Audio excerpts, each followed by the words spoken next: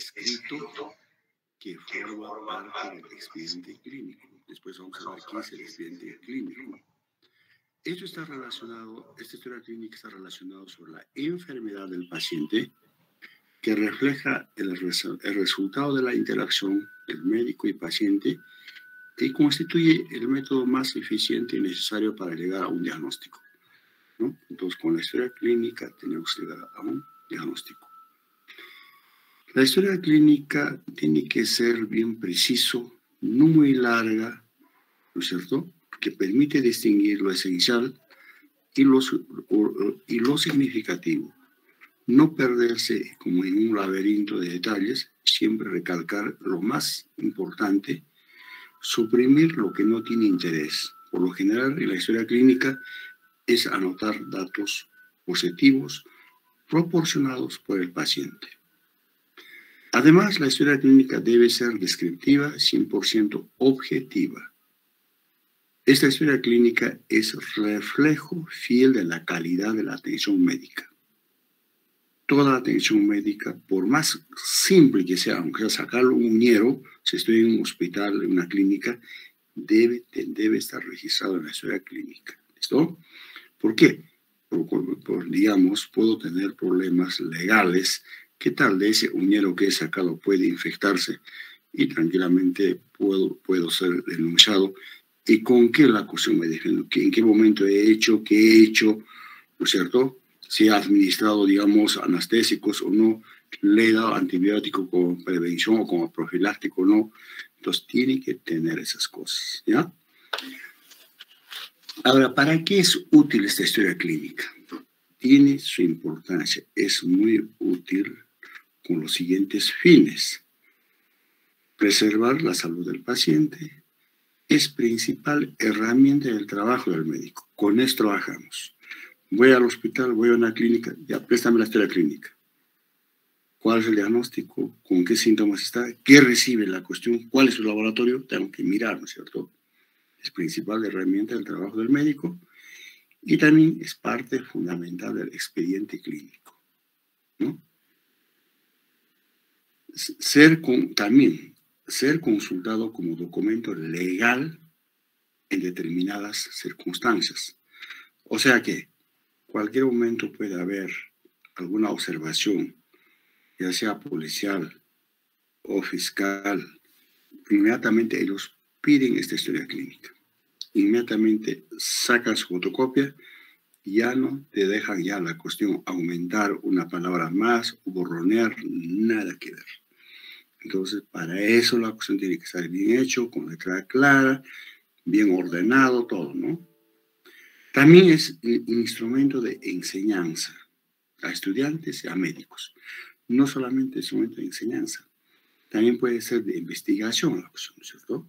Entonces, cualquier momento podemos ir, ir al, al, hospital, podemos prestar una historia clínica, de este paciente discutiremos, ingresó así, tiene tal laboratorio, había ingresado con tal diagnóstico, pero con el laboratorio había cambiado y cómo se debía manejar, todo lo podemos discutir sobre la, igual, teniendo la historia clínica. También hemos dicho, es un documento de investigación, ¿no? Aquí los bachilleres que terminan piden una carta de la decanatura para el director o para el gerente del hospital del seguro o para el hospital, presentamos la cuestión. Es un, es un egresado, es un bachiller, tiene deseos de hacer investigación en tal cosa. Entonces van, recolectan de ahí para hacer investigación, ¿no es cierto? Y también principal instrumento de defensa de los profesionales médicos, cuando hay algún cuestionamiento de naturaleza ética administrativa. Y dentro, del, dentro, dentro de la institución puede tener problemas el profesional médico, entonces su trabajo, su, su trabajo, digamos, su, su, tratamiento al paciente, todo el esto, puede defenderse con, con esa clínica. Aquí está nuestra clínica, de esta manera he manejado, tal cosa, aquello. Entonces, es necesario. Si está mal manejado el paciente, puede tener una llamada de atención, pueden nombrar una comisión que lo investigue, todo lo Entonces, ahí es el documento. ¿Cierto? Y también es un instrumento médico de forense, la cuestión médicos legales. Entonces, si hay alguna muerte, algún, directamente ellos van a la historia clínica. Este no es la historia clínica tal cosa, ta, ta, ta, sacan fotocopia, lo estudian si quieren, ¿cierto? Entonces, tiene esas características esta historia clínica prácticamente, ¿no? Ahora, hemos dicho, la historia clínica consta generalmente de dos partes o de dos capítulos. Primero es anamnesis o interrogatorio. Segundo, exploración física, que entramos a hacer, realizar examen físico. En el anamnesis o interrogatorio, ¿no?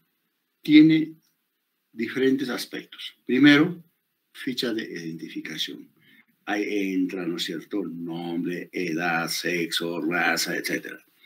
Luego viene motivo de consulta. ¿Por qué el paciente ha venido donde mí, donde, el médico ha ido? ¿no es cierto? Motivo de consulta. Con sus propias palabras, después tengo dolor de barriga o tengo hinchazón en los pies, ¿no es cierto? Entonces ya es motivo de consulta la Y ahí, después del motivo de consulta, ya viene la historia de la enfermedad actual cómo inició, cómo evolucionó, actualmente cómo se encuentra, todo tenemos que Después de eso ya antecedentes personales fisiológicos, cómo nació, cómo se desarrolló en su escuela, su comportamiento, aprovechamiento, todo lo que tú quieras. Antecedentes personales patológicos, ahí viene la cuestión. De niño, ¿qué enfermedades has tenido? ¿Has estado hospitalizado? Todo tienes que preguntar. Luego, si es sexo femenino, antecedentes génico-obstétricos. De esto su menarquia, se ha tenido partos, digamos, abortos, etcétera, etcétera. Antecedentes hereditarios. Ya dentro de la familia, la cuestión, los abuelos, los hechos, ¿qué enfermedades han tenido? ¿Están vivos? ¿Han muerto? ¿Y con qué enfermedad supuestamente? Algunos no saben, que se cree que tenía tal cosa, que aquello ya nos dice, y qué tal, inclusive, ahorita el paciente que tengo es hereditario ya la cuestión, ¿cierto? Hábitos de la vida, la cuestión cómo es su alimentación, si es bebedor, fumador, ¿no? Entonces, en qué tipo de vivienda vive, tal cosa. Condiciones socioeconómicas, cuánto gana, si ese dinero lo alcanza para, para, mantener a la familia, a los hijos o no. Y después, y cultural es la cuestión. Entonces, de acuerdo a su nivel cultural, tengo que conversar también, ¿no es cierto? Entonces, también es necesario. Entonces, eso es más que todo, está en la anamnesis. Ahora, después de esto, pasamos ya a la exploración física o examen físico, ¿cierto? Entonces, esta exploración física se subdivide. Uno, exploración física general o hábitos exteriores, ¿cierto? Desde la cabeza hasta la punta de los pies, la acción puedo observarlo, ¿no es cierto? Y luego, segundo, exploración física regional.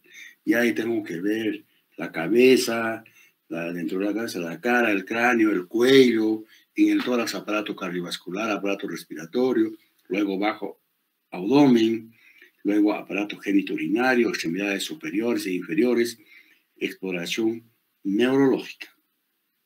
Cuando termino todo esto, ya puedo decir hipótesis de diagnóstico o probable diagnóstico. Entonces, todavía no es diagnóstico definitivo, ¿no es cierto?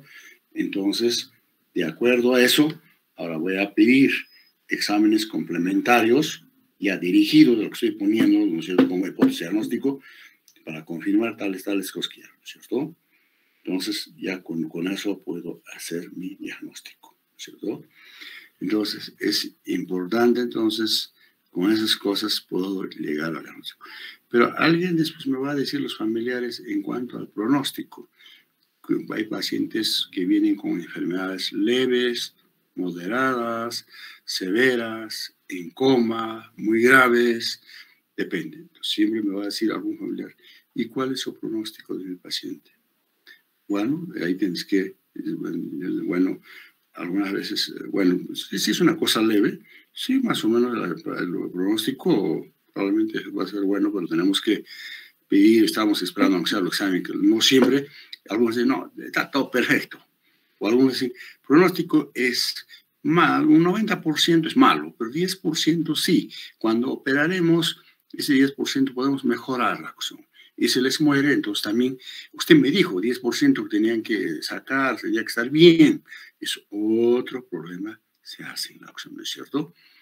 Y cuando ese paciente estado grave, evolución desfavorable, un mal pronóstico, probablemente con posibilidad de óbito o muerte, ¿no es cierto? Entonces, aquí, si es grave, su pronóstico es malo o pronóstico reservado. Reservado puede estar entre mal o bien, entonces es esto, ¿no es cierto? Entonces, para formular el pronóstico, debe darse en mucha cautela la cuestión, no lanzarse directamente, es bueno, malo, que aquello, tal cosa, nada que ver. ¿Listo? Inclusive dicen en cuanto al, este, al, pronóstico, siempre dicen la cuestión, hay aquí eh, dentro de este pronóstico prácticamente eh, no solamente, bueno, aquí el enfermo está enfermo la cuestión. El problema es aquí aparece la tercera persona, ya sea familiar o ya sea de la policía o ya sea su seguro o de su institución. ¿Qué tal es un trabajador de una mina? Entonces está observando la acción. ¿Qué están haciendo la acción? Entonces ya e, es el que salta la cuestión. Muy bien, dígame, ¿cuál es el pronóstico y qué están haciendo? Entonces tranquilamente todo lo que estás haciendo está captando y tranquilamente eh, te, puede hacerte un, un juicio. Bueno, la cuestión, nosotros somos parte paciente, paciente. Puede estar consciente o inconsciente. El paciente no dice nada de la acción. El problema es familiar, o sea, la tercera persona, o, digamos, del, de su institución o de su seguro la acción. Con eso vas a tener problemas bien serios. Entonces, aquí siempre todo el manejo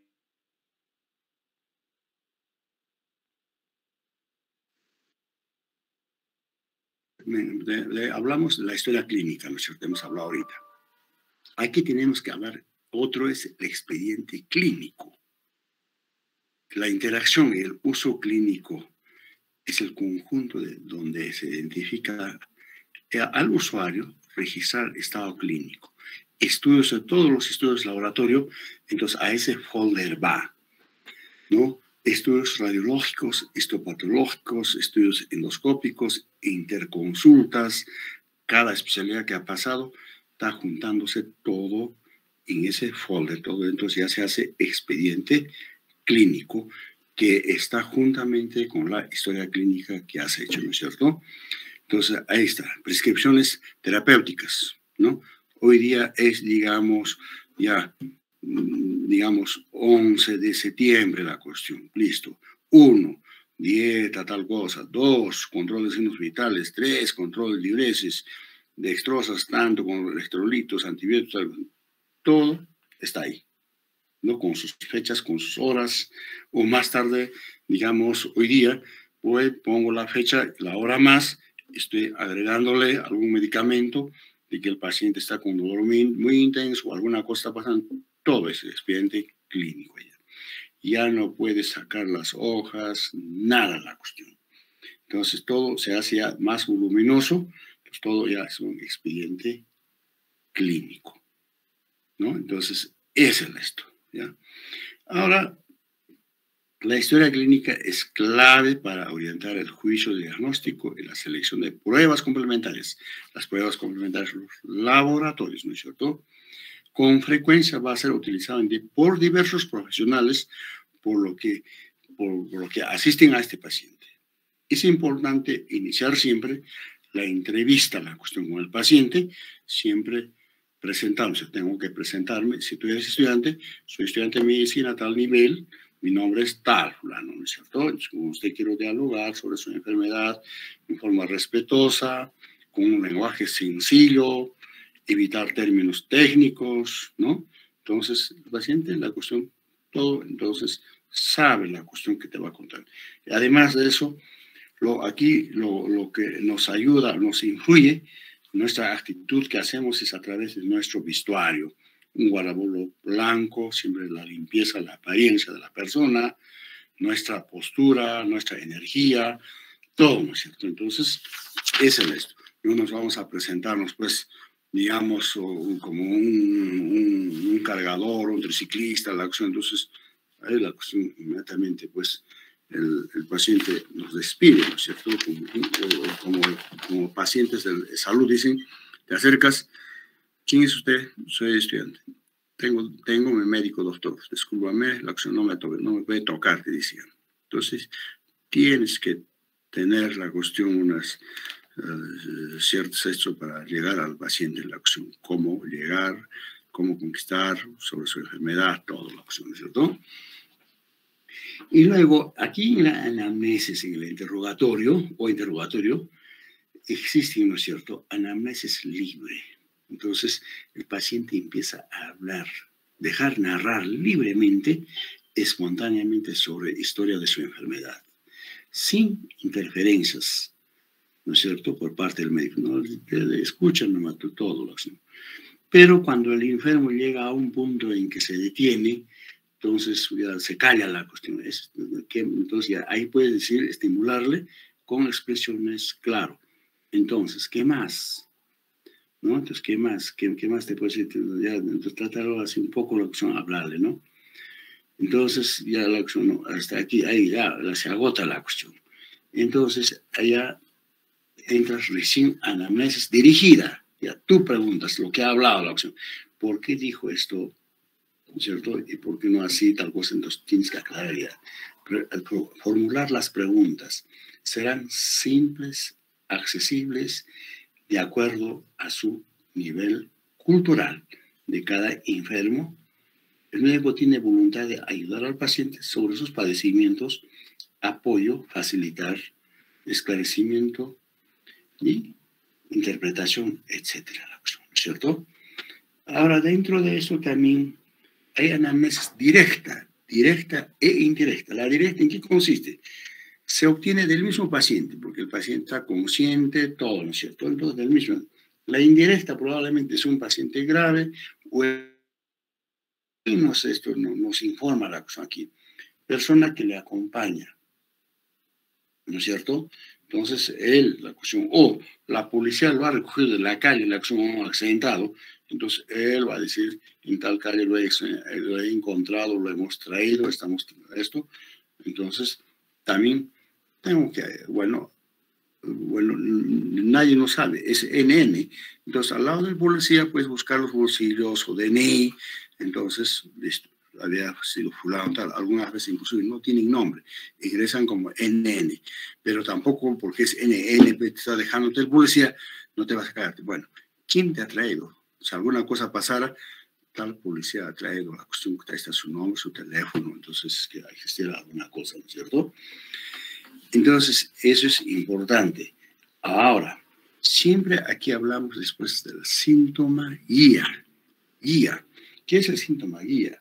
Primer paso, se designa como síntoma guía al síntoma o signos que conforman parte de la historia clínica actual de mayor precisión. Ejemplo, dolor, me puede decir, dolor abdominal, ¿no es cierto? Entonces, ya es un síntoma guía, entonces, para la elaboración de la historia clínica la acción. Entonces, ahí ya desde ese síntoma guía, tendré que decir qué tipo de dolor, dónde se localizó, dónde inició ese dolor, a dónde va, en qué momento se intensifica, toda la acción de ese síntoma guía la acción. ¿no? Entonces, después habrá de ese dolor recién náuseas, vómitos, ¿qué más la cuestión, no es cierto? Pero el síntoma guía es dolor abdominal, diremos, ¿no es cierto? Segundo paso, ahora determinar la fecha que tuvo inicio de aquel síntoma guía. ¿En qué fecha, en qué hora empezó? ¿Cuándo comenzó? ¿Cierto? Entonces, ¿cuándo comenzó? Eh, eh, bueno, ¿a qué atribuye? A veces no te entiende la atribuir. ¿A consecuencia de qué? no he ingerido un almuerzo o una comida fría, te dirá, es importante esa palabra, ¿a qué atribuyes ahora pues? ¿Cierto? No puede empezar así nomás. Claro, algunas veces puede empezar, pero algunos siempre es provocado por un alimento, u otras cosas puede ser por esfuerzo físico, etcétera, etcétera, ¿no es cierto? Tercer paso, estamos, estamos en síntoma guía. Consiste en investigar la manera como evoluciona el síntoma guía. El examinador debe establecer las correlaciones con otras quejas. Análisis del síntoma guía y otros síntomas terminan con la obtención de las informaciones sobre es que se encuentra su, actualmente. Entonces, siempre las primeras historias clínicas para un estudiante de medicina va a tener omisiones, va a tener fallas, ¿no? Siempre, porque le falta, le, le falta al estudiante conocimientos sobre la enfermedad, pero poco a poco tienes que afilar, mejorar todo, ¿no es cierto? Entonces, es eso. Va a haber fallas. Inclusive, algunos acostumbran, digamos, en el hospital, cuando le damos, digamos, un paciente, o hasta el interno la cuestión, ¿no? El interno la cuestión se acerca con su papelito, saca todos los datos del paciente, todo. Después, recién en la historia clínica, primeramente hace como quien dice borrador. Después ya oficialmente lo hace en la historia clínica, porque su asistente, el jefe, claro, le va a decir, está mal hecho, historia clínica, tal cosa, yo no leo aquí nada, la cosa en todo. Entonces, para evitar eso, él se hace en borrador y después lo pasa como quien dice, en limpio la cuestión. ¿No es cierto? Hablaremos, estamos en la anamnesis, ¿no es cierto? Identificación. Entonces, en identificación, nombre completo, apellidos, materno, paterno, ¿no? Ese es para fines de presentación, hemos dicho. No designar el número de cama. Cama 8, pues, designo. O paciente que está con TBC, pues paciente ectérico, no es eso, ¿no? Entonces, con su nombre, ¿no es cierto? Este dato nos ayuda a, dirigirnos y tratar al enfermo por su nombre. El enfermo mismo se siente mejor, bien la cuestión. Se le dice, si es Luis, oye, Luis, paciente Luis. Listo, entonces con eso manejas bien, ¿no? Siempre en los hospitales va a decir a la, técnica, la enfermera, el paciente histérico, te dice la ¿Cuál es Bueno, si tienes un solo histérico, entonces ya sabes que es histérico que está en tal cama, ¿no? Entonces, siempre mejor es de su nombre. Ahora, en cuanto, después, segundo, viene la edad. Entonces, que cada grupo etario tiene enfermedades mayor incidencia, ¿no? Edades. Si hablamos de primera infancia, pues hay enfermedades eruptivas, varicela, tosferina, enfermedades eh, diarreicas de origen infeccioso, puede haber, ¿no es cierto? Y esos son jóvenes, pues puede tener, digamos, enfermedades infectocontagiosas como la tuberculosis, la fiebre reumática. Si es adulto ya joven, enfermedades metabólicas, puede tener, digamos, ya diabetes, colelitiasis, litiasis renales, etc. Ya todo paciente de edad, ya ancianos, enfermedades degenerativas. Degenerativas. A esta edad ya hay muchas enfermedades de hipertensión arterial, si es varón, hipertrofia venina de próstata, arteriosclerosis, osteoartrosis, afecciones crónicas en los pulmones, fibrosis pulmonar, etcétera. Ya entonces ellos con varias enfermedades, ya no hay ya uno solo. El niño puede tener uno, un, paciente joven también quizás viene con un solo diagnóstico, raras veces puede tener otro también, pero tratarlo a un paciente de edad ya siempre tiene varias enfermedades varias cosas, ¿no es cierto?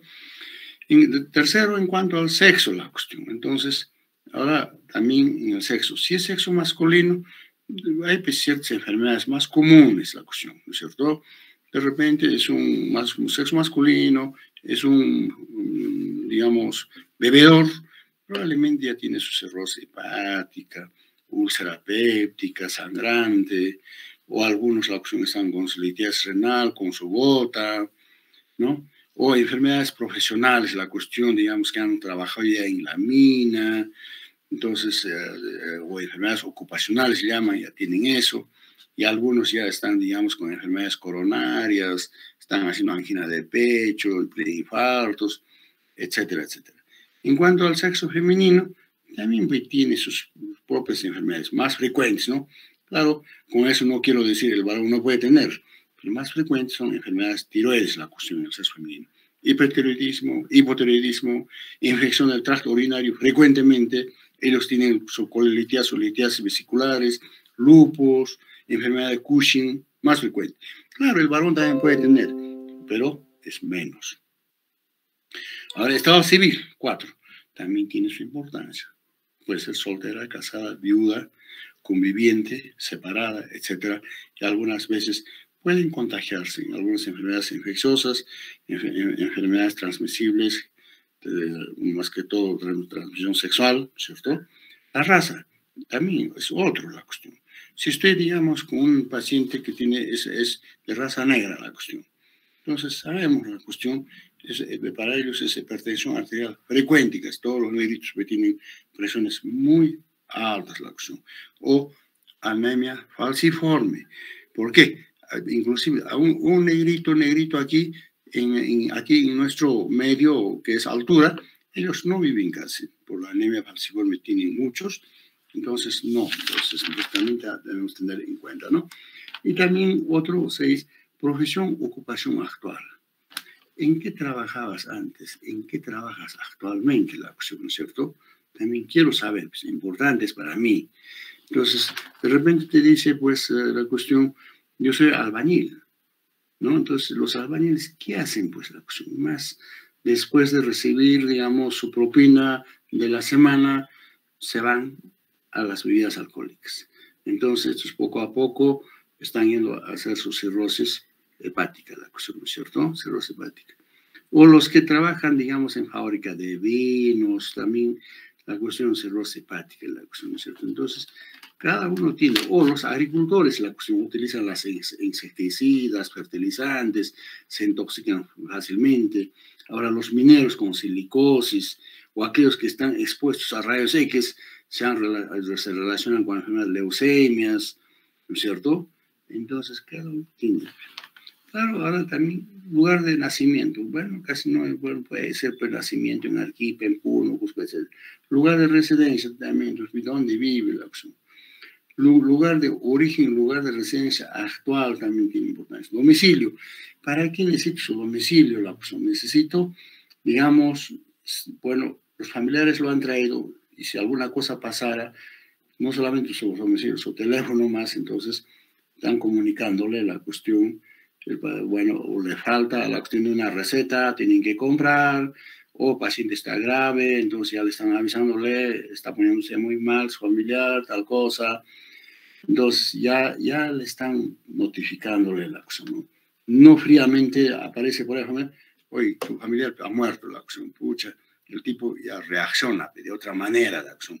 Entonces, psicológicamente a esos familiares tienes que estar trabajándole todo, inclusive algunos, ya cuando falleció, ya inclusive están diciéndole, ¿cómo se llama? Tu familiar está grave la cuestión. Inclusive ha hecho paro, lo han sacado del paro, le dicen, entonces ya la cuestión, ya la familia comunica que hacemos, dice que ha hecho paro ya, pero lo han sacado, hay que ir. Entonces ya cuando viene ya la cuestión ya está psicológicamente preparado, pero a veces fríamente y todavía alguien le ha dicho, no, tu paciente está bien, la cuestión va a salir, tal cosa, y que le digas, murió, pues. Tiene una reacción la cuestión contra todo, a veces algunos, no será todos, pero hay de todo se ve, ¿cierto?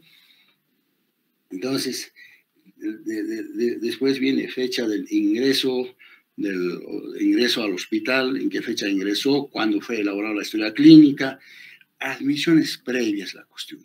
Anteriormente ingresó a otros hospitales o a este hospital, eh, ¿de qué enfermedad? La misma enfermedad o otro qué.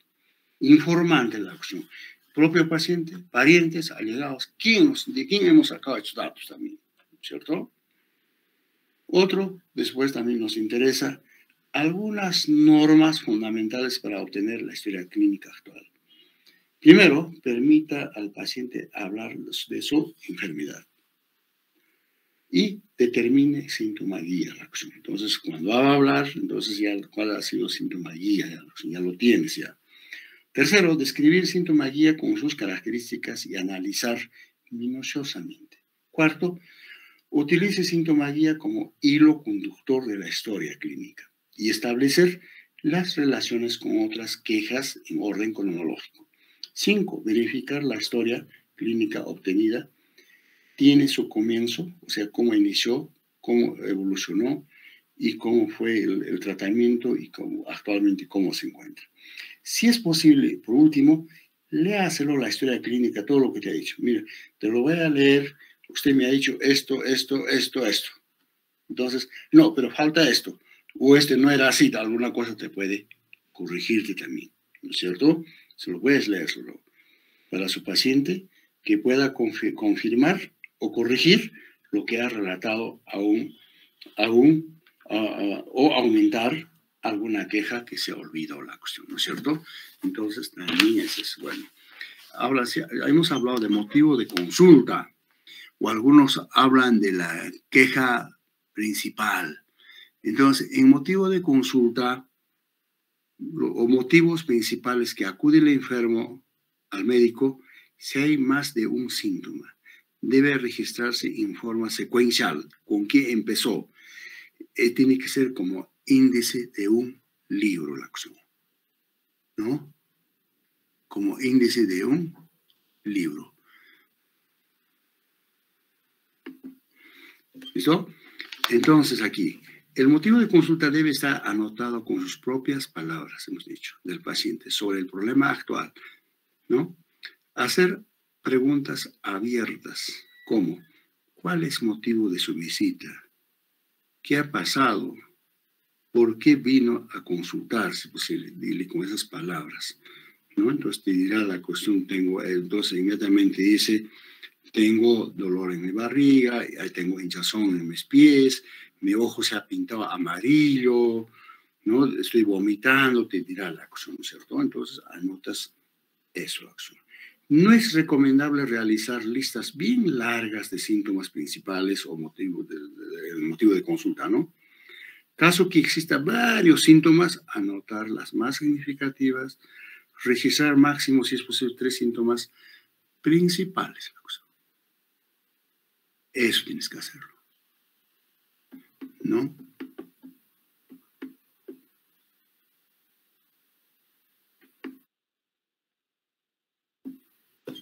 Ahora, y luego viene ahora, después del motivo de consulta, ya la cuestión te ha dicho con tres o cuatro palabras. Por esto vengo. Ahora recién inicia aquí historia de la enfermedad actual. En esta fase, las informaciones presentadas deben ser transcritas preferentemente con términos médicos. Puede decir, digamos, me decía más antes, falta de aire, eso ya lo pongo distinto me decía, tengo hinchazón en los pies, ya es de manos inferiores, ¿no es cierto? Ya la cuestión, ya, lo pongo ya. La historia de la enfermedad actual debe ser recopilada y transcrita según la siguiente secuencia cronológica de los síntomas. El modo de inicio, primeramente, cómo inició y ese inicio de ese, cómo ha evolucionado. Y quiero saber también las características actuales de la enfermedad. Entonces, en el inicio, eh, es la época y modo de inicio de la enfermedad. Describir las características del síntoma guía en forma detallada. Ejemplo, modo de inicio. Fue brusco, súbito o insidioso o en forma progresiva, ¿no es cierto? ¿Cuándo comenzó? ¿Cómo comenzó la enfermedad? ¿Y a qué atribuye usted su enfermedad? ¿O quién lo desencadenó? a consecuencia de que, si tú quieres, la acción depende del nivel cultural de tu paciente, ¿no es cierto? Porque algunos vas a decirle, ¿a qué atribuyes? Una persona, una mujercita que viene del campo, eso no te va a entender, ¿no es cierto? Entonces tienes que, bueno, sacar los datos. Pues. Segundo, la evolución. Ya, ya te he dicho, digamos, que tengo hinchazón en los pies, me falta el aire, ¿no es cierto? Ahora, investigar la manera como ha evolucionado los síntomas de la enfermedad actual si el paciente fue, bueno, probablemente dice automedicado. Yo he tomado tal cosa, he ido a la farmacia, dirá. O algunos te dicen, no, no por esto ya, ya he sido hospitalizado, vengo de Jule, ya tiene hospitalizaciones previas en Jule. O otros nosocomios, ¿no? O han ido al, al, consultorio de un médico, son algunos, han tomado medicamentos ya le han pedido exámenes complementarios, pero sí igual, diríamos, ¿no es cierto? ¿No? y no le han dicho nada bueno, o algunos le han dicho probables diagnósticos, probablemente tienes esto, pero sigue la enfermedad, ¿no es cierto? Y también tiene prescripciones terapéuticas, ¿ya? Entonces ya le han dado este, este, medicamento, toma tal cosa. Entonces, estoy tomando, estos son los medicamentos que he tomado, ya te dice la acción. Y indagar sobre el factor, ¿te ha aliviado? ¿Te ha mejorado? No, alito, algunos dicen, no la acción. Entonces, ahí está la evolución. Entonces, toda la cuestión en la evolución, cómo la cuestión todo ha evolucionado, se ha agravado, otros síntomas han aparecido después del síntoma guía, tal cosa, todo te dice. Y por último, tercero, características actuales de la enfermedad. Entonces yo digo, actualmente, ¿cómo te encuentras ahora? ¿Cierto? Ya me ha dicho la evolución. Con su, con su respuesta del paciente termina la historia clínica. De, me dirá, sigo igual, pero tal cosa, o he mejorado. Depende, ¿no es cierto? Ahora, cuando hablamos, el paciente viene, digamos, por un dolor, ya puede ser dolor en el pecho, dolor abdominal, en estos casos tenemos que investigar este, este dolor, ¿no? Deben ser preguntados siempre, localización, ¿dónde? Señálame con tu dedo. Ya, aquí la te señala, ¿no es cierto? Ahora queremos saber carácter o tipo de dolor. Entonces le dices la opción, dolor quema, o retuerce, o digamos comprime, ¿cómo es? A ver, entonces ya te dice, no, oprime o retuerce, dice la acción, o quema la acción, depende. Algunos no saben, no se duele, duele, punto, pero la acción te dice, ¿no?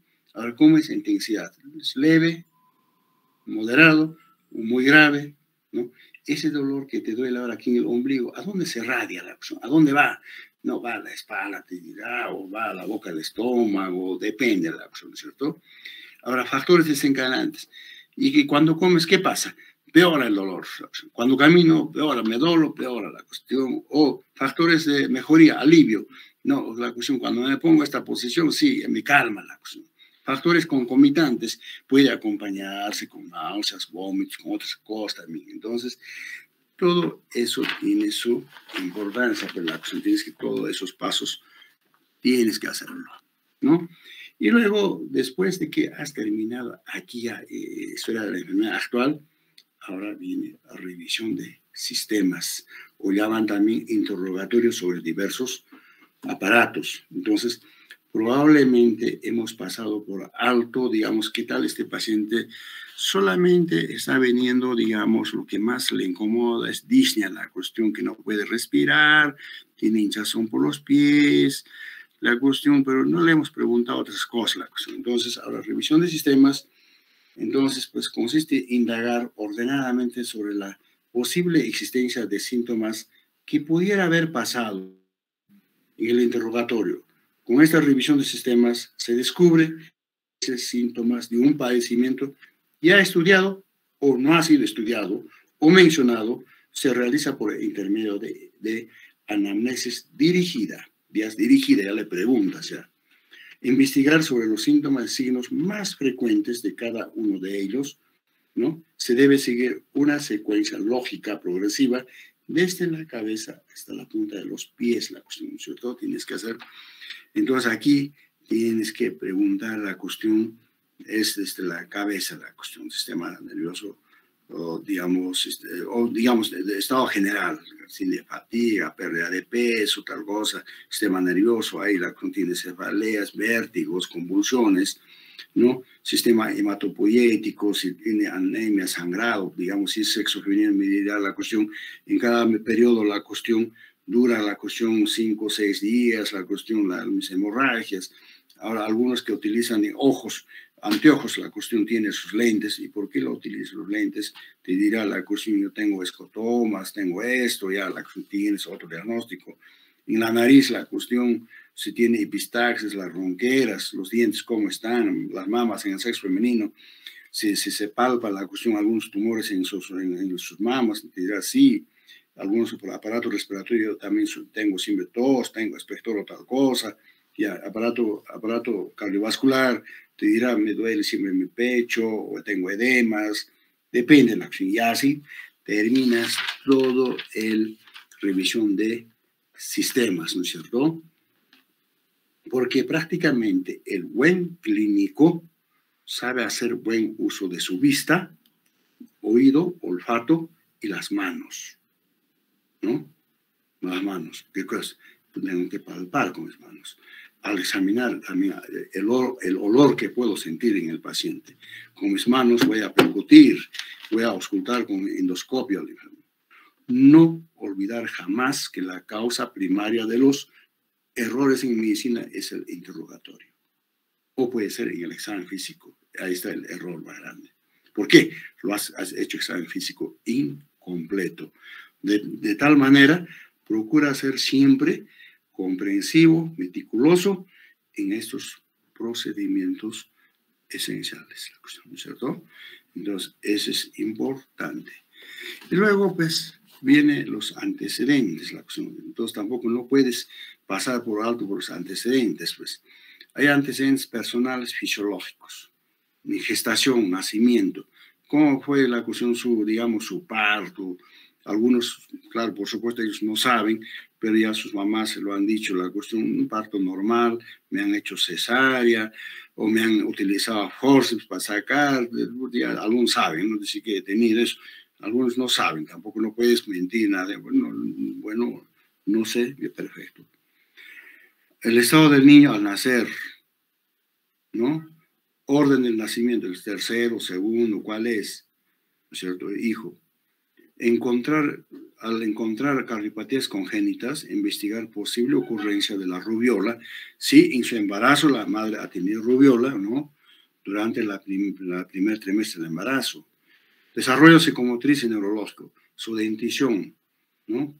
primer diente cuál salió, el segundo cuál registrar en la época que, que apareció primer diente, en qué fecha empezó a gatear, caminar, anotar las edades de esa actividad y hablar cuándo comenzó a pronunciar las primeras palabras. Desarrollo físico, peso, el tamaño al nacer, también queremos saber, ¿no?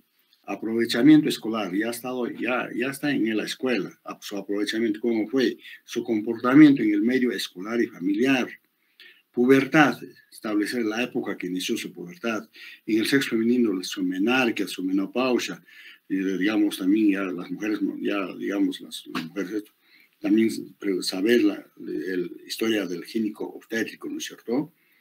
Y luego, después de esto, viene antecedentes personales patológicos Listo, mi nacimiento, fisiología me han preguntado.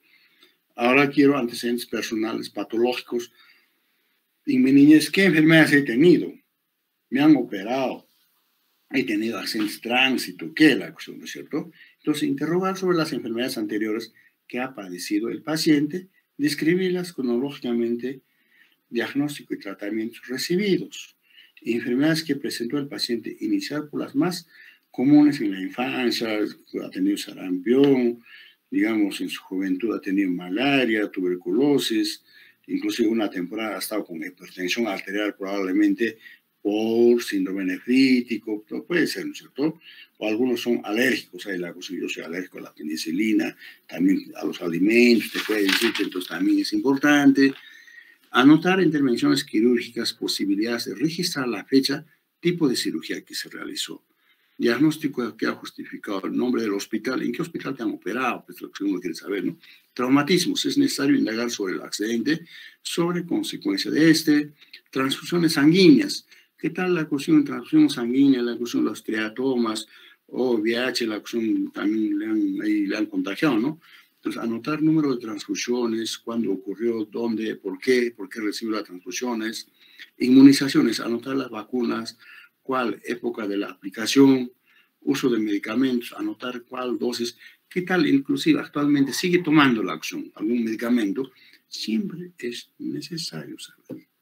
Inclusive la cuestión para mí, ya, ya somos médicos ya muy esto, por no perder el tiempo más práctico, entonces uno la cuestión le pregunta la acción, muy bien, si es sexo masculino, señor, ¿usted en qué, en qué trabajaba antes? ¿Actualmente en qué trabaja? Su profesión. Yo he sido minero, tal cosa, ya, ya, listo, muy bien. Ahora, ¿toma algún medicamento actualmente? No. Sí tomo. ¿Cuál es? No me recuerdo. Quiero saber. ¿Para qué toma la acción? Entonces, el medicamento mismo puede estar haciéndole daño, como los corticoides, la cuestión, ya sea hipertensión arterial, las hemorragias, los edemas, todo, ¿no es cierto? O está llevando un síndrome de Cushing. Entonces, es necesario. Ahora entraríamos antecedentes familiares, la cuestión familiar, la familia. Estado actual de los padres, hermanos, cónyuge e hijos, edad, estado de salud de cada miembro de la familia, ha fallecido sobre la causa supuesta de la muerte. No olvidar de los abuelos, tíos, primos, paternos y maternos del paciente si tuvo algún enfermo en la familia, esclarecer, esclarecer la naturaleza de la familia, ¿no? Preguntar sobre la existencia de hipertensión arterial, la familia tiene diabetes, tuberculosis ha tenido, accidente cerebrovascular, este, estaban diciendo, no, mi abuelo ha muerto con accidente cerebrovascular porque es que era hipertensa, te dice. Entonces, esa hipertensión se puede dejar como herencia también a ellos, ¿no? Diabetes también es hereditario, y hay enfermedades uh, psiquiátricas también, es también hay riñones poliquísticos también, órganos metabólicos también es hereditario, ¿no? y los hábitos de la vida, la cuestión, cómo está la alimentación, cómo es su ocupación actual, actividades físicas, qué hace la cuestión, ¿no es cierto? Hábitos, ¿no? Entonces, algunos tratan de ocultar sus hábitos, hasta los familiares tratan de ocultar, pero si, lo, si, lo, si, si, si le das mucha confianza, te van a avisarte. ¿no? Entonces, eh, claro, tienen, tienen miedo de hablar, pero la cuestión te van a hacer, yo fumo tantos cigarros, tomo tantas bebidas, bebidas alcohólicas cada dos o tres, cuatro veces a la semana, utilizan anabolizantes, anfetaminas, drogas ilícitas, la cocaína, otras cosas, ¿cierto? Uso de tabaco, cuántos cigarrillos fuman al día, bebidas alcohólicas, todo eso, la cuestión entonces es necesario, vas preguntándole todo, ¿no es cierto? y luego condiciones socioeconómicas y culturales, más que todo su habitación, ¿no? más que todo en la zona rural, ¿no? entonces ellos no tienen eh, una buena vivienda, toman agua del pozo, agua no sé de todo, entonces pueden tener infecciones parasitarias e infecciosas, etcétera, ¿no? Entonces, todo eso es necesario. Condiciones socioeconómicas. Hay necesidad de, de informaciones sobre su salario aproximado que gana la cuestión y número de dependientes, la cuestión que tiene, y ese dinero le alcanza o no la cuestión. ¿no? Indagar sobre rendimiento mensual, ese dinero, la cuestión. Entonces, de acuerdo a eso, si es posible, utilizas la cuestión en tu receta. No le vas a darle, pues, bueno, eh, es un, un obrero que gana muy poco, tiene varios hijos, cómprame esto para tu tratamiento. Tienes que utilizar la cuestión, o sea, pues como quien dice, medicamentos genéricos, todo la cuestión, para que le haga el efecto, la cuestión, ¿no? No le vas a dar medicamentos carísimos, va con la receta de la farmacia, ¿cuánto cuesta? Este, este ampolla cuesta 120 soles. Un hito no va a vender, que me coloquen. Piensa con ese uno, va a mejorar. Entonces, no. Entonces, para esas cosas es, tenemos que saber, ¿no? Y también con quién estoy hablando la acción, me, está entendiendo, va a cumplir o no la cuestión, ¿no es cierto? Entonces, su nivel cultural es bajo, elevado, es un, es un profesional, o no, no tiene profesión, es un trabajador o un agricultor, ¿no es cierto? Entonces, todas esas cosas tienen su importancia la acción, ¿no es cierto? Entonces, luego, luego, luego, después de esto, ya lo hemos terminado con antecedentes, todo. Ahora, ¿qué hago? ¿A dónde entramos? Exploración física general la cuestión. ¿Cierto? Vamos a examinar al paciente. Terminada la, la anamnesis, pasamos al examen físico o exploración física. Con todo eso, nos, no quiere decir que el examinador esté prohibido de continuar con sus indagaciones de interrogatorio. Por lo contrario, habrá la oportunidad para completar uno u otro punto que no está bien esclarecido. ¿No? Entonces, al examinar, encuentras también otra cosa más. ¿Y desde cuándo apareció esto? Pero de esto no me hablaste, es la cuestión. Puedes estar todavía completándolo ¿Por qué? Lo has desvestido al paciente, ya lo tienes en la camilla, entonces puede continuar todavía tus preguntas la cuestión, no, no, no puedes quedarte ahí, ¿no? Entonces, ¿Y esto desde cuándo lo tienes? Pero no me has dicho, esto no te duele o cuándo ha aparecido. Puedes todavía, ¿no es cierto? Entonces, aquí en la exploración física se divide en dos partes. Exploración física general o ectoscopía, la parte externa, ¿no es cierto? Obtenidos a través de los datos generales independientemente de varios sistemas orgánicos. Y el otro, exploración física regional, como decir, digamos, yo quiero saber aparato respiratorio, cardiovascular, digestivo, nervioso, endocrino, etc. Para, para practicar un buen, un buen, examen físico satisfactorio es necesario aprender a usar bien, siempre lo hemos dicho, la vista, el olfato, el tacto, las manos, la cuestión para explorar la cuestión, ¿cierto? Primeramente hago inspección, palpación, percusión, auscultación. Inclusive, con una mirada que dura pocos segundos, el médico ya descubre mucho la personalidad del paciente y salud del paciente. Entonces está ingresando a mi consultorio, cojeando o mirando, entonces ya uno ya sabe, tipo, tal tipo de paciente me está ingresando, pero eso no ocurre con todos eso llaman el ojo clínico de los antiguos, ya, ya se lo saben la cuestión, ¿cierto? Ojo clínico de los antiguos, la cuestión ya sabia. Entonces, una inspección general se refiere que ante el enfermo que llega al clínico, a la clínica por su propio pie y es conducido o, o por otra persona. Entonces, ya conocemos a la mirada, la fases, la lo, lo que está caminando, ¿no? o de repente le has dado la mano, te ha dicho, ¿cómo estás? Una mano, digamos, mojada o está con la sudoración, de repente estará con fiebre o paciente es un hipertiroideo, ya, ya, ya sea la acción. O al hablar mismo, me habla, hablamos, ya se pone disneico, agitado la acción. Entonces, probablemente estoy hablando con un paciente que tiene ya una insuficiencia cardíaca izquierda, ¿no es cierto? Haya aumento de, de presión capilar pulmonar, la cuestión, entonces ya uno ya sabe la cuestión, ¿cierto? Ahora, el ambiente, el ambiente donde vamos a examinar el local con una temperatura adecuada, no vamos a ponerlo pues en, una, en un ambiente frío, todo, ¿no? Debe tener una buena iluminación correcta, posición del paciente en una camilla adecuada, ¿no es cierto?, confortable el paciente podrá estar echado siempre de primero o después hacerlo sentar, puedes complementar de pie, va a depender de las condiciones que se va a investigar. La, la parte de ser examinada debe estar descubierta.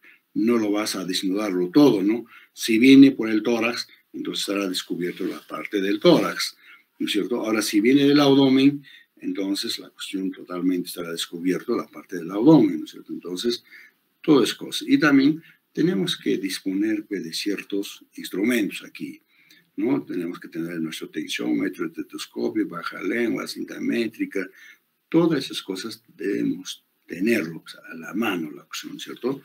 No es aquí la cuestión solamente con nuestra mano y con nuestros ojos vamos a realizar todo esto, ¿no? Entonces, tiene que haber esas cosas para, para examinar, ¿no?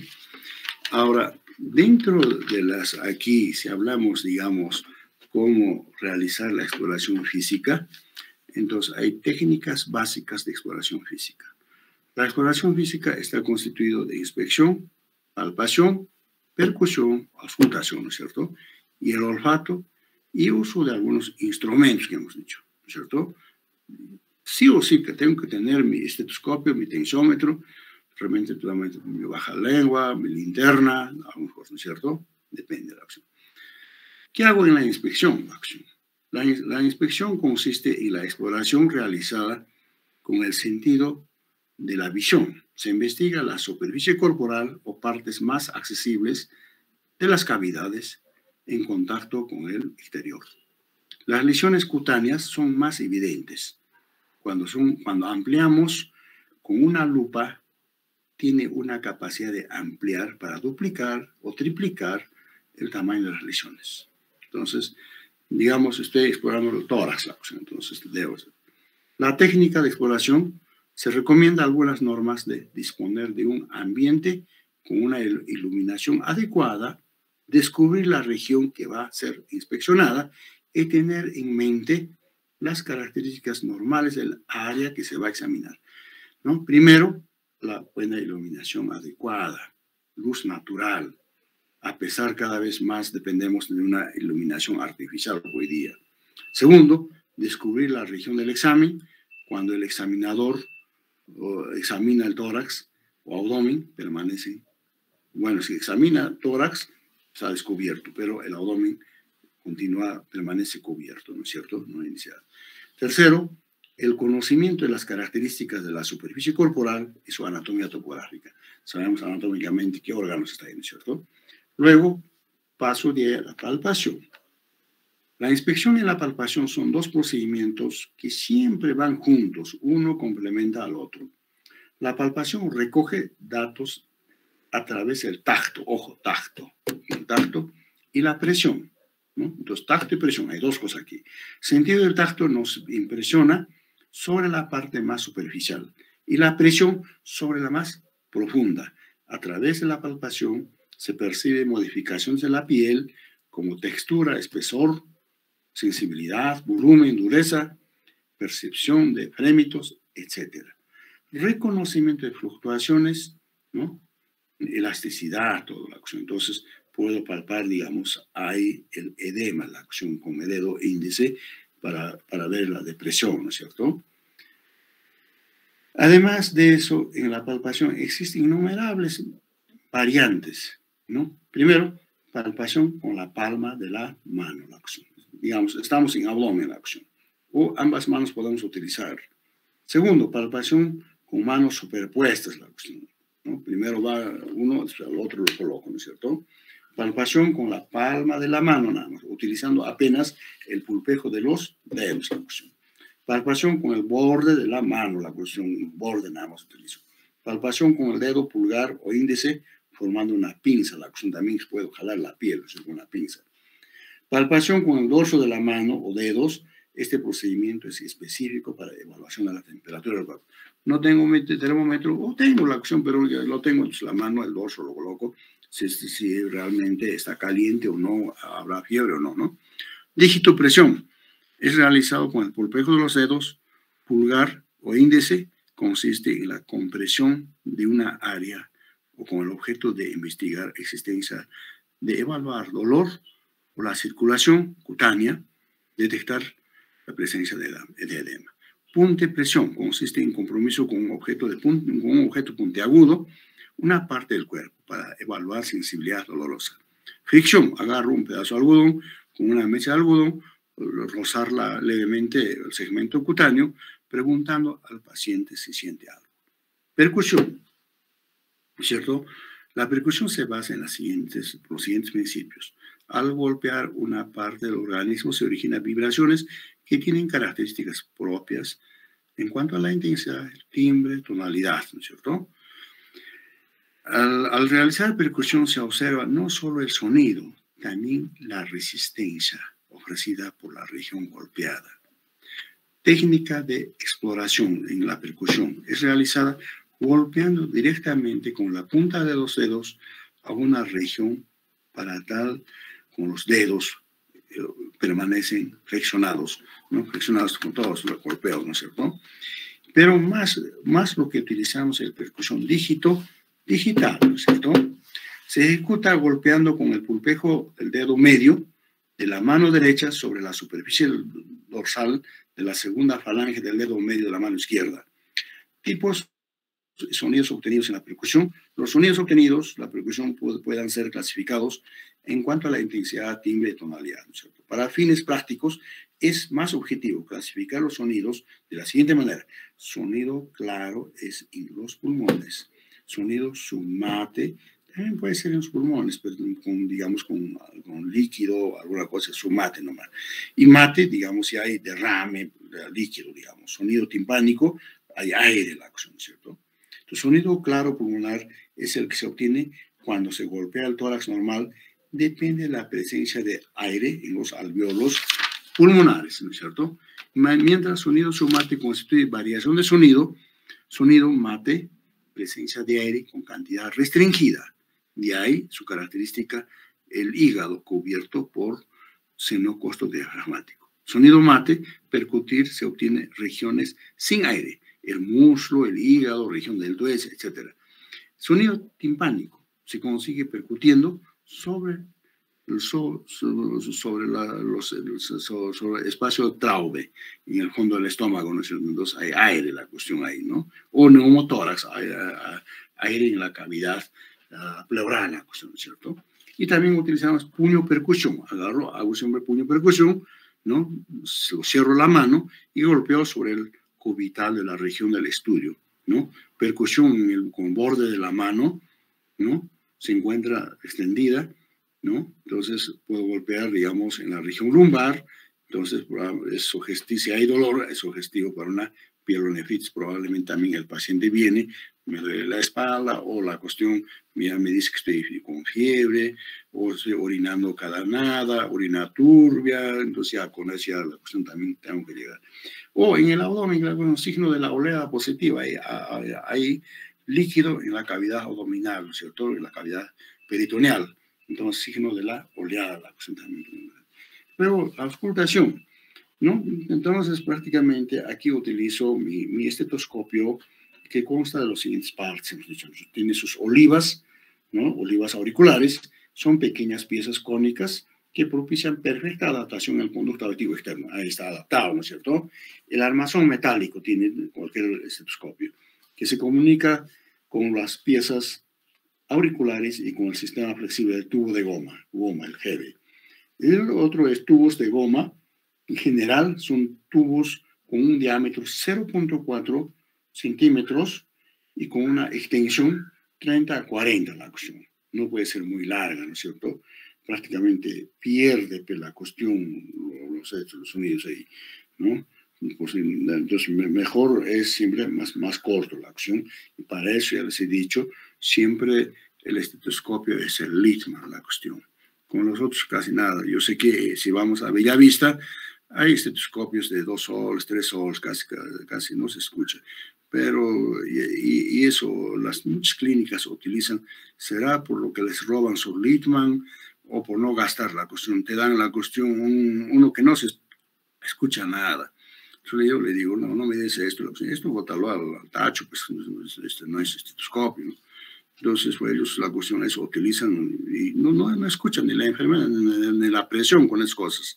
Entonces, ustedes como estudiantes de medicina, ya, pues son Lichtman la cuestión, pero cuídalo. Yo sé que tiene su costo, pero te sirve, pues, te sirve, estás familiarizado con tu estetoscopio. Y los, receptores son dos tipos fundamentales, la campana y el diafragma. La campana usualmente tiene un diámetro 2.5 centímetros. Este, este, es, este receptor es más sensible a los sonidos de baja frecuencia, más que todo para escuchar, ojo, tercera y cuarto ruido cardíaco. Mientras el receptor del diafragma, diafragma es, dispone de una membrana semirrígida, tiene un diámetro 3 a 3.5 centímetros, ¿no? Está adecuado para auscultación general.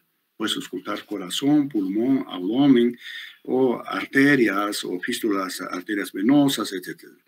El método auscultatorio es utilizado en examen de los pulmones, donde podemos escuchar los ruidos respiratorios normales, los ruidos patológicos o anormales, examen del corazón, auscultación de ruidos cardíacos normales, los soplos, otros ruidos, ¿no es cierto? Entonces, sirve para eso.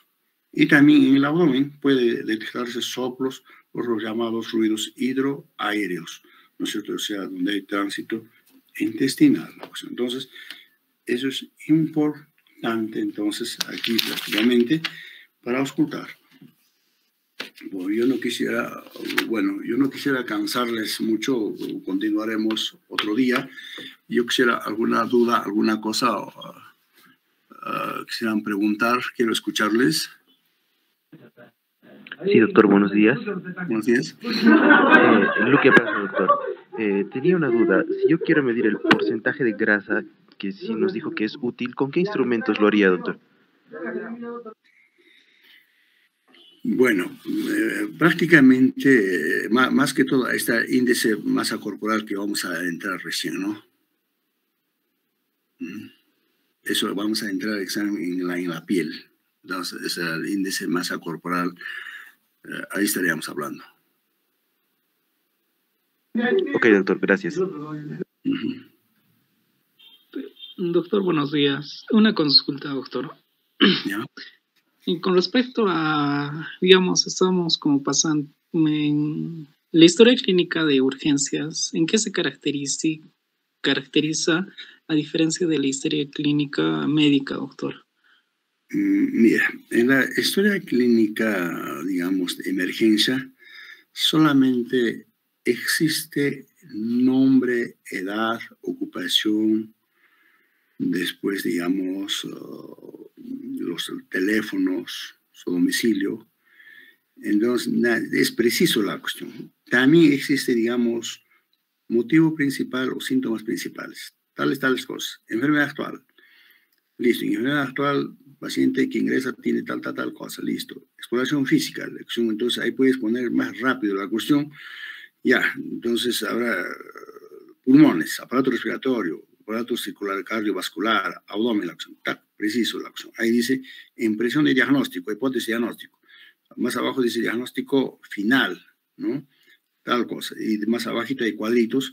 Paciente pasa la internación, entonces hay cuadritos, entonces pasa internación. Paciente pasa observación, entonces se queda en emergencia observación. Paciente alta, alta la acción también, entonces es preciso la acción, es más corto.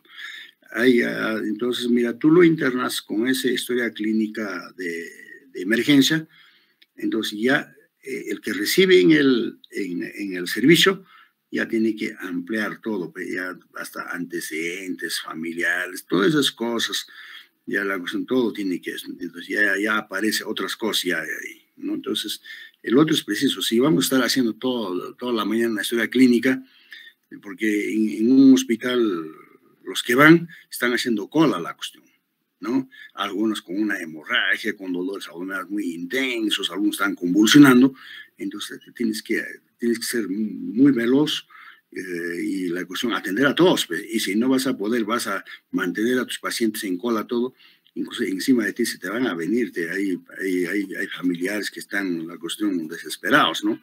Y ha habido esas cosas, eh, no solamente aquí en el hospital, en todo sitio ocurre eso. Entonces tienes que ser muy veloz la cuestión del esto, ¿no? Entonces, y ahí, si es posible, ya tienes que internar en las camillas en observación, ¿no? O algunos inmediatamente pasa al servicio, si es abdomen agudo quirúrgico, una apendicitis, ya, a su servicio, tra, listo, pide esto, esto, esto, ya.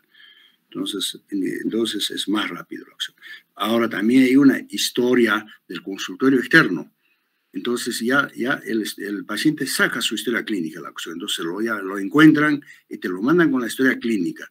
Entonces ahí ya lo, lo hace inclusive en las hojas de evolución, o algunas veces también puede haber una hoja, también es preciso casi, no, no puedes estar ah, perdiendo el tiempo con la cuestión. Más rápido también, porque también ahí están haciendo cola la cuestión, ¿no? Entonces, por cada paciente que tienes que emplear, digamos, 20, 30 minutos, pues tiene que ser rápido. Entonces, hay diferencias. No solamente eso, hay historias clínicas, digamos, en pediatría. El pediátrico pues no habla, entonces la mamá tiene que darte todas las informaciones, todo, ¿no? Ahora, paciente de tercera edad que no escucha bien, entonces eh, la cuestión, tienes que tener un poco de paciencia, de hablarle. Tampoco ahora si a un paciente de edad lo, le, gritas o le hablas en voz alta, piensa de que le estás maltratándolo, la cuestión mejor no me me voy, te dice la cuestión. Entonces, tiene sus características cada uno, no es, ah, bueno, nosotros estamos haciéndolo a un, un paciente adulto que se hospitaliza, adulto joven, lo que quieran. Entonces, tienen algunas cosas características también hasta para pacientes psiquiátricos, la cuestión tiene eso esto. Ya eso ya en el camino, en la ya uno lo aprende, porque si vamos a emplear para cada uno, en pediatría, en pediatría, pues, pero digamos, muchos pacientes de edad, ya pues en geriatría, la cuestión pues que aquí esas especialidades no tenemos, ¿no? Entonces, ahora, si es paciente neurológico, pues sí, el neurólogo lo va a emplear a su manera todo esto. Ese es el esto. Gracias, doctor. Ah, doctor, una pregunta, buenos días. En caso de que el paciente fallece, ¿la historia clínica dónde va? Ya. Cuando fallece, tú tienes que, quizás parece que es una buena pregunta eso. Entonces, aquí tienes que, digamos, mm, cuando hacen paro cardiorrespiratorio, depende de la acción. Hay pacientes terminales. Terminales, ¿qué quiere decir? Un paciente de edad tiene, digamos, una neoplasia y ya con metástasis, todo el esto. Entonces, algunas veces, eh, bueno, lo correcto es, mm, bueno, no hacer nada por él ya. Que haga paro, paro. Pero el problema también por ahí están los familiares dando vueltas y no lo existe la reanimación cardiopulmonar, te puedes ganarte un problema legal. No han hecho nada la cuestión, te trae el fiscal, te lleva, pucha, te puedes ganarte esto. Entonces, claro, eso hablamos a la, la, enfermera, uno le dice, señora, la cuestión, si hace paro, no me digas nada, nada más, avísame cuando ha hecho paro para firmar nomás la cuestión, no lo toquen, dice, ¿no? Entonces también, entonces depende. Entonces, ¿qué hacemos con ese paciente? Ya, la cuestión, me llama la cuestión la enfermera, pues si está hospitalizado, ¿no? Entonces, pongo la cuestión, mmm, hizo paro cardiorrespiratorio, tal hora. Listo. Entonces, hora, todo pongo, ¿no? Y ya, y ya sabemos, ya tiene su historia clínica, tiene los diagnósticos, todo. Pero aquí voy a poner ya otras cosas. Ya hizo la cuestión. También en la evolución debe haber, ¿no? Cómo estaba evolucionando con su gravedad, la cuestión, todo. La cuestión, entonces ya tiene. Entonces, nada más. Y ahora, eh, y, si, si, tú has hecho, digamos, en un paciente reanimación cardiopulmonar, se realiza, se realiza reanimación cardiopulmonar tal hora, la cuestión se administra tales, tales medicamentos, pero prácticamente eh, no, no se resuelve la cuestión. Falleció, hizo paro tal, tal hora, tal, listo, nada más. Entonces, esos van al morgue, ¿no? Ahora, depende de la cuestión. Digamos, ¿qué tal? Hoy día ingresó el paciente, eh, digamos, ahorita es las 8 de la mañana, diríamos, ¿no? Falleció a las 10 de la mañana. Entonces, ahí es el problema la acción, ¿no? Entonces, eh, las normas de los hospitales es de una permanencia deben tener 48 horas para dar certificado médico. Y si es menos tiempo, entonces pasan a la necropsia la acción, ¿no? Entonces debe, ser, debe participar aquí el fiscal, ¿cierto? Entonces, ahí, es otro problema, pero siempre te va a decirte los familiares, por favor, cito la cuestión, no quiero que me den mi certificado, yo no quiero que me lo corten, yo no quiero que me lo hagan autopsia, todo, depende. Y ese es uno. Dos, también la cuestión, queremos saber, pero a veces la enfermedad para el estudio. Entonces, eso debe saberse, porque está muriendo sin diagnóstico, con un diagnóstico probable, no, no fue determinado, entonces esas cosas se debe hacerse y si es neoplasia, entonces se saca la, digamos, se hace biopsia y se manda pues al estudio histopatológico, todo, ¿no? También. Entonces debe haber, si es un hospital muy formal, hace sus estudios de su investigación, eso es la cuestión, no te van a aceptar la cuestión, ¿no? Que se haga el esto, su, su necropsia, estudio histopatológico. Entonces, pero aquí en nuestro medio, pues la cuestión viene los familiares, la cuestión o trae, después ya cuando hizo paro, te trae un certificado de función de afuera la cuestión. Era su médico fundamental, así que aquí ya tiene esto, me lo llevo a la opción del cadáver, entonces con eso se lo lleva también. Gracias, doctor.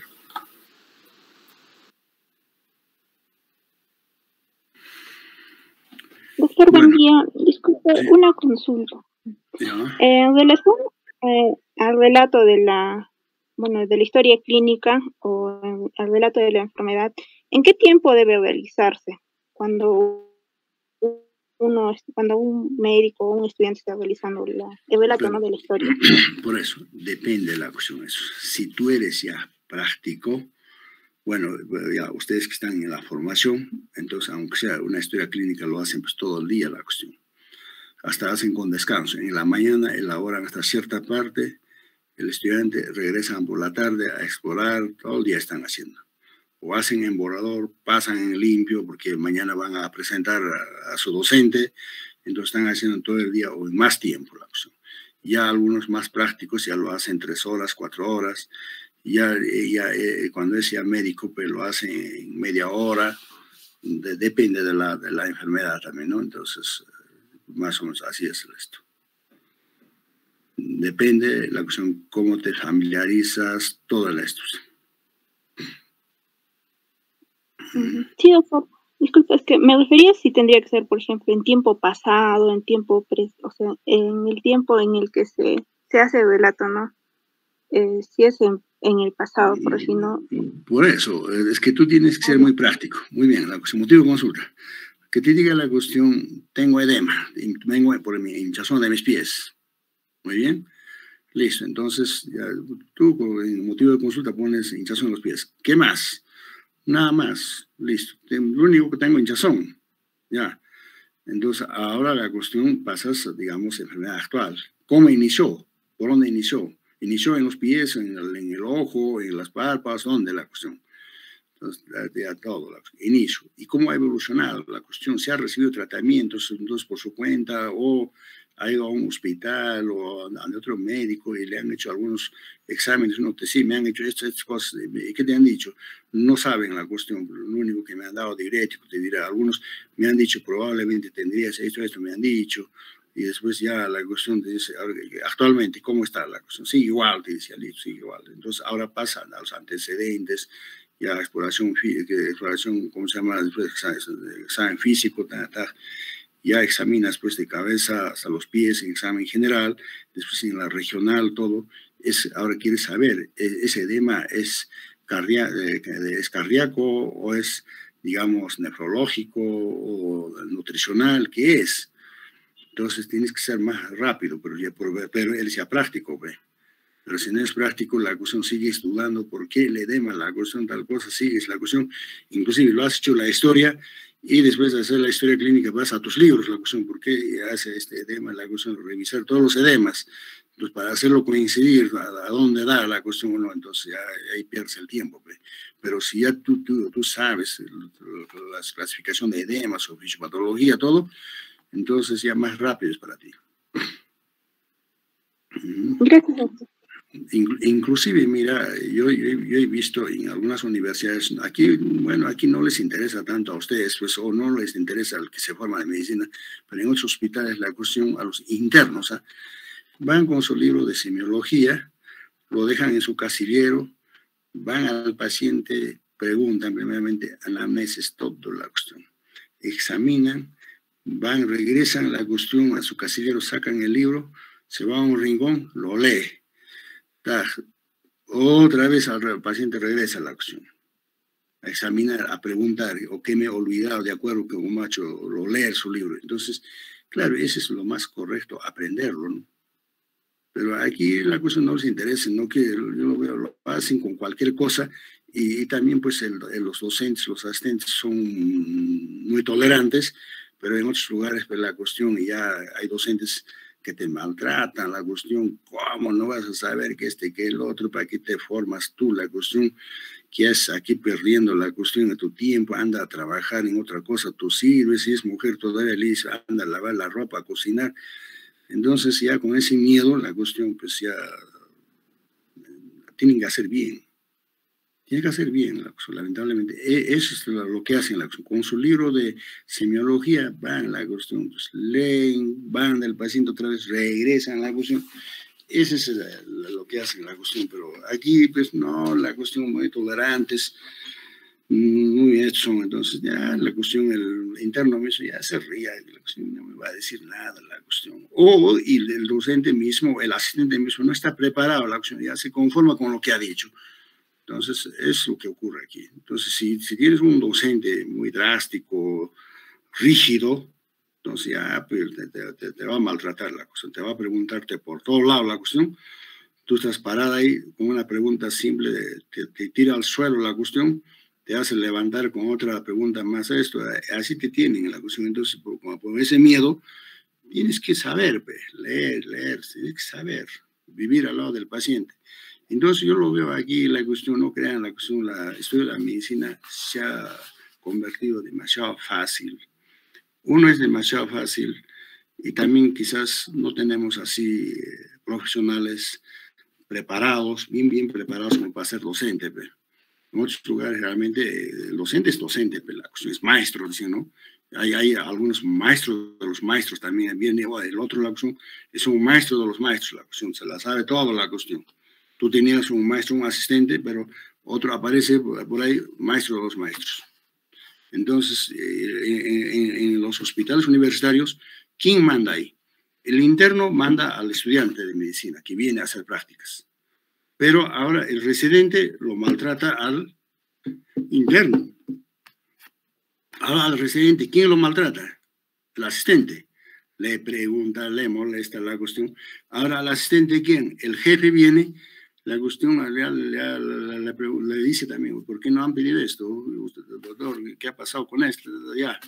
Entonces, e, esa es la, secuencia que llevan. Pues. Entonces, el interno prácticamente lo agarra a los estudiantes cuando no hay nadie, le da trabajo, la cuestión, ven, ayuda a esto, lleva esto, la cuestión, ¿por qué hace esto? Le pregunta, le enseña también si quiere, ¿no? Pero al, al, al interno la cuestión lo maltrata el residente, la cuestión. Dentro de los residentes también se maltratan es R1 nuevo, recién ha entrado. Pucha, el R3 que está por terminar lo maltrata la cuestión, pucha, le hace tiras la cuestión. Así es en los hospitales. Pero aquí no hay eso, pues no, no, me parece que no saben medicina o son muy tolerantes, todos tranquilos, caminan, pero en otros lugares no, la cuestión. Hay ese respeto, dice el R1, dice, mi R3 que dirá la cuestión, tengo que pedir permiso o tengo que consultar la cuestión. Ya el R1 le consulta la cuestión. Entonces, eh, la cuestión, tengo este paciente que usted qué dice, algo así, entonces este se pide esto, este, así, así, así, ya le enseña la cuestión. Ya el R3, algunas cosas no sabe, viene el asistente, ya le enseña también, así, y viene el jefe, porque el jefe tiene que ser en un, en un servicio el, el, el más poderoso, el que sabe más, pero aquí en estos hospitales por la antigüedad ponen, por amistad. Entonces, ¿qué puedes hablar del jefe? Pues nada que ver, no sabe nada. El jefe más bien se escapa cuando hay un paciente grave. hay que llamar al jefe, pues, ¿qué, dice? La, ya se desaparece todo. Entonces, no, no, no, no, no, cumplen como deben ser las, las reglas aquí. Lamentablemente, así es pues el estudio de la medicina, la cuestión. Mm. Yo recuerdo la cuestión, mira, siempre el estudiante de medicina, los que están en anatomía, la cuestión, escapan al hospital. Ellos, bueno, el que está en fisiología también al hospital, quiero ver el enfermo cómo es, porque yo tengo que saber. Teníamos un, jefe, la cuestión, muy bien, uno por uno. Dígame esto el estudiante de anatomía, la cuestión, no, yo soy anatomía, no, muy bien, vamos a hablar con usted anatomía. Ah, las preguntas de anatomía, no sabe nada. Si no sabes cómo vienes aquí. No, yo soy de fisiología nomás. También la cuestión, la cuestión a cada uno le da su esto. Así son los hospitales universitarios, no es tan fácil la cuestión. Cada uno recibe su café ahí. Entonces, aquí, no sé, es una formación muy, esto lo hacemos, y ahora si tú quisieras hacerlo eso, ya te dicen, este es un cuco, el malo, que aquello, que este, que el otro, pero esas cosas también no crean, es para su bien la cuestión. Son aquí muy flexibles la cuestión, pero en otros lugares no, muy rígidos la cuestión. Pucha, te dicen tu vida la cuestión si no sabes la cuestión, o no has llegado en su hora, no has hecho nada. Entonces, así, jóvenes. Bueno, pues a estudiar nomás. Bueno, ya nos vemos lunes, ¿ya?